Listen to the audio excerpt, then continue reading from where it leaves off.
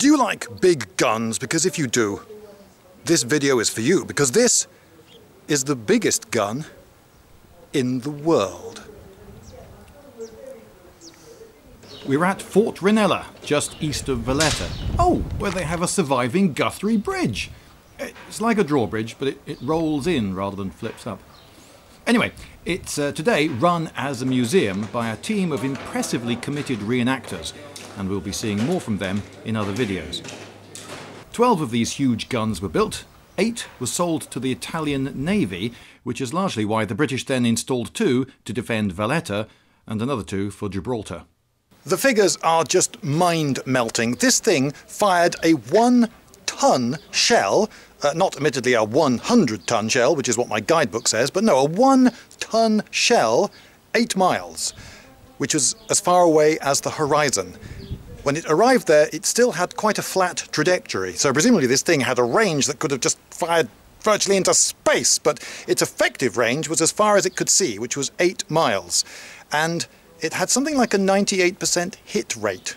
So, in other words, if you were an enemy ship, um, and this saw you and got angry, you would have to get to terms with not being an enemy ship for very much longer. And in fact, it didn't even have to hit you, because though this would flatten pretty much any ship, uh, cripple it instantly, then sink it uh, that it hit, uh, it wouldn't actually even have to hit you. A near miss from this thing would put one ton of explosive into the water, and the underwater concussion would be enough to rupture the hull of most ships.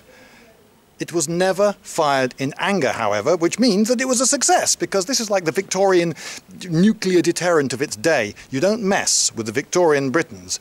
And nobody did. They test fired it uh, four times a year, which was quite expensive. Quite expensive? Each shell cost the equivalent of a soldier's wages for over seven years. Lost it? Right, that's coming out of your wages.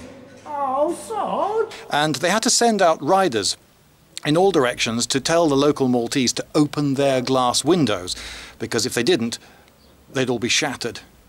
The shifting lobby. The garrison was small. This was made possible by the fact that the gun was moved and loaded with the aid of a modern steam powered hydraulic loading system.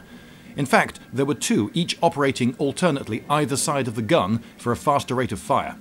Let's hear Antoine tell us about it. As soon as we are fired, we will move the 100 ton gun backwards, rotate those 142 to 90 degrees, lower the 100 ton barrel to bring its muzzle on front of the little holes we see on top of those black cylinders.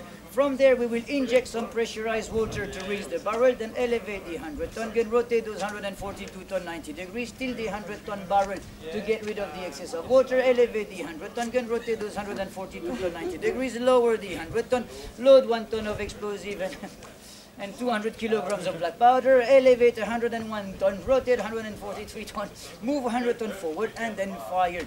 All within six minutes. Is everything all right down there? I'm a bit tangled up in chains.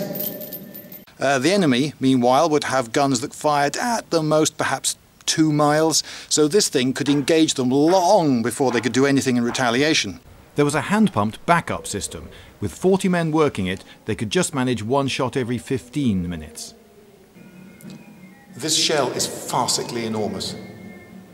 Conditions for the men seem to have been pretty good. They were well fed and washed three times a day. Here we see them fetching in imported coal for the boiler. They seem happy enough. The gun could be fired electrically, but they never trust electrically, um, electricity as such. Why? Because already in those days they realized that if you press the button and nothing happens, the soldiers in charge would spend more time insulting his colleague and God than actually fixing the problem. Therefore, it was much more efficient to ask one of your soldiers to climb onto the carriage, fix a pre-charge, a primer in that polygonal shape over there, pass it through the loophole, and then proudly stand in front of that little concrete recess. And when the order of fire is given, simply pull that lanyard and hide as much as he could from the glass in this little makeshift of protection.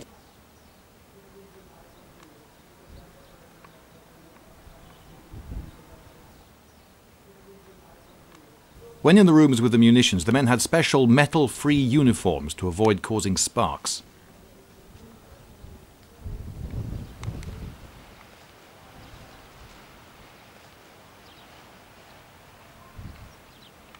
the biggest gun in the world.